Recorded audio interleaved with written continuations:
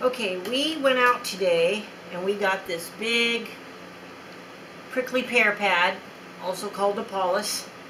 And with this big one, we decided we are going to make some candy out of it. So first of all, we have to take all these spines off. I already did it on the outside. And this is actually, and then we have to take the skin off. It's actually a lot tougher than you think it would be. And obviously I have a glove on because I already got some splinters. See, it's pretty, uh, pretty tough. And then we need to, uh, I'm trying to do it kind of how I saw the ladies at the flea market do it. They just kind of, here we go. Oops, I'm trying to get it not so deep though.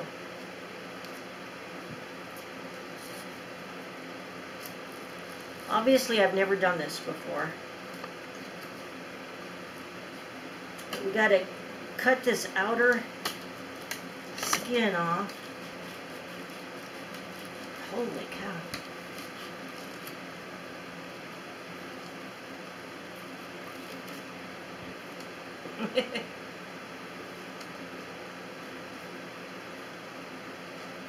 Skin and veggies.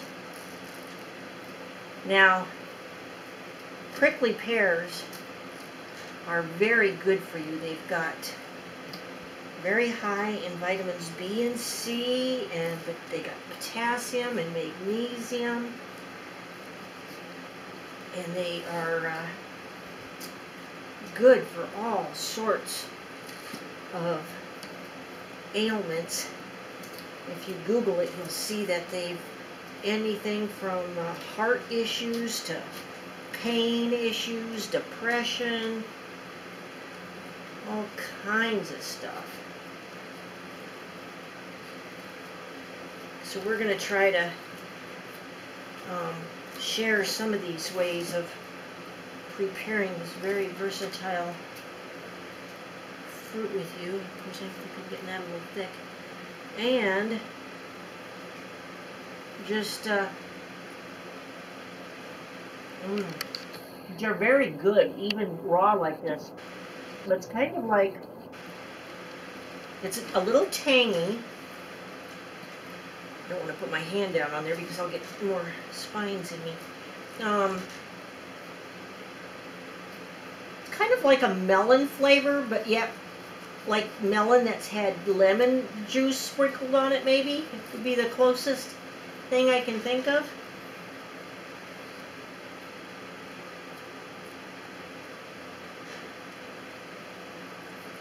And these little eyes are really kind of like potato eyes. They're kind of hard to get out. If you already know how to do this, you're probably laughing at me. And so you should be.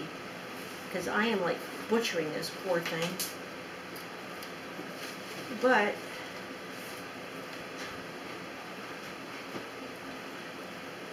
and it's very slimy.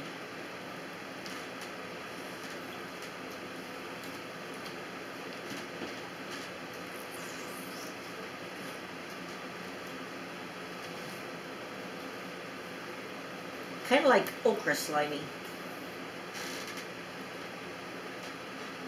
I'm almost thinking it would be easier if I went ahead and that way I could reach it better.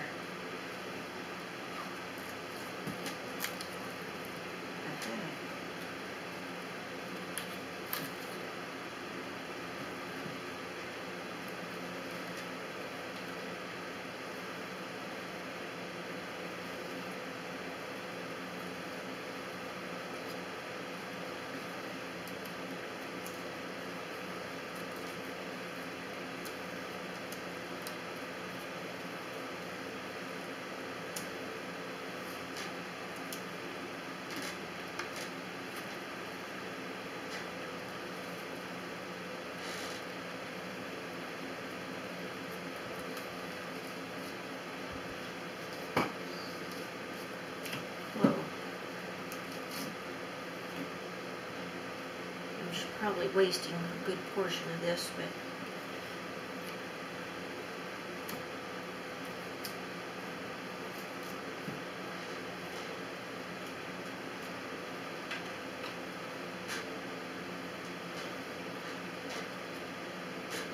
let's just set this guy over here for now. And we'll do the other side of this guy. Maybe we'll have better luck on this side.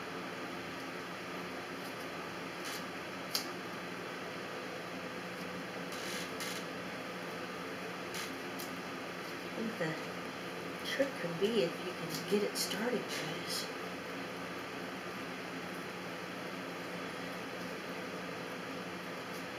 except it's just so slimy it's hard to get a good hold on it.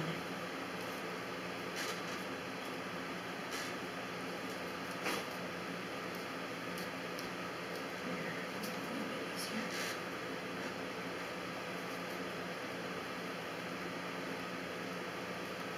Stubborn little eyes. Darn.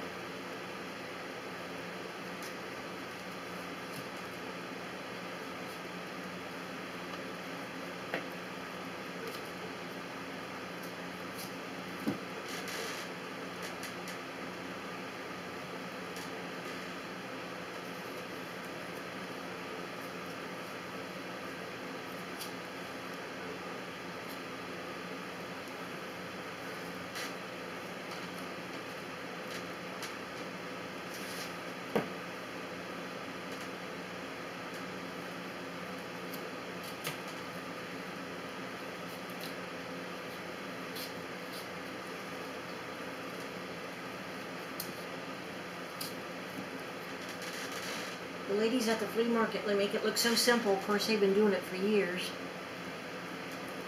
They just have those things peeled in no time. So obviously this is something that takes some practice to get a good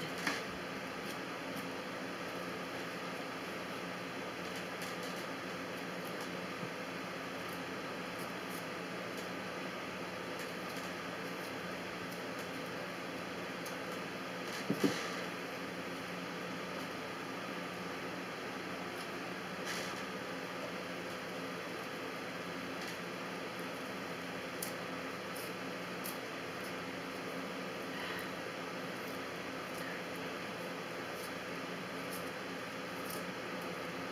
is not pretty.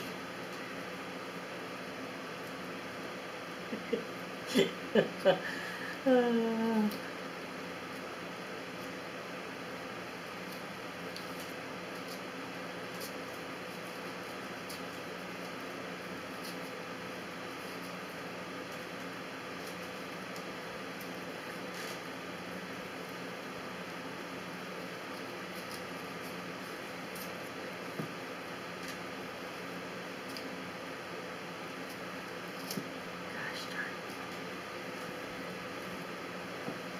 Whoa, whoa, come back here.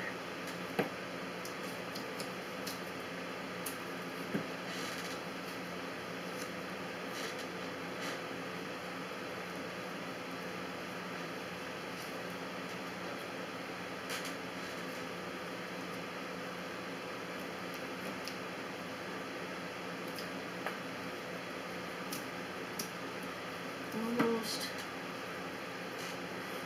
Mm.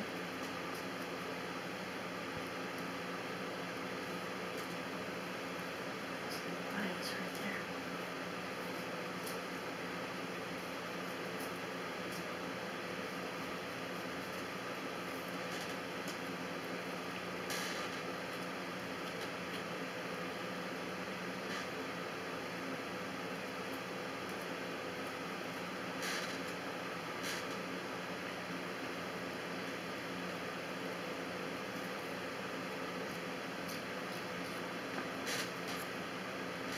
there. Okay, not pretty, but there it is. I'm gonna rinse it off real quick and rinse my board off, and then we'll show you what to do next.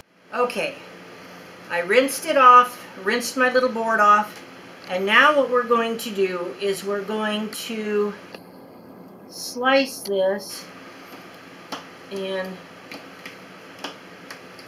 crunch crunch as it goes through the little approximately, of course this first one won't be because it's on the outside of the pad. Strips, one inch strips. Oops, come here. And once you get it cut, put it in water, and then what we'll do is we will let that soak overnight in the cold water in the fridge. And then in the morning, we will uh,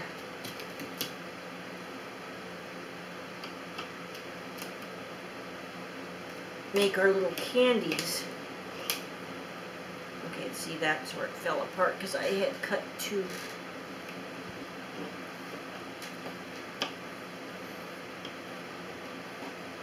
That's so funny. It is so slimy, guys.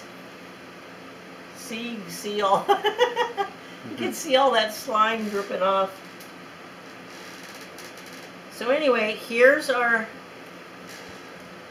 our strips here.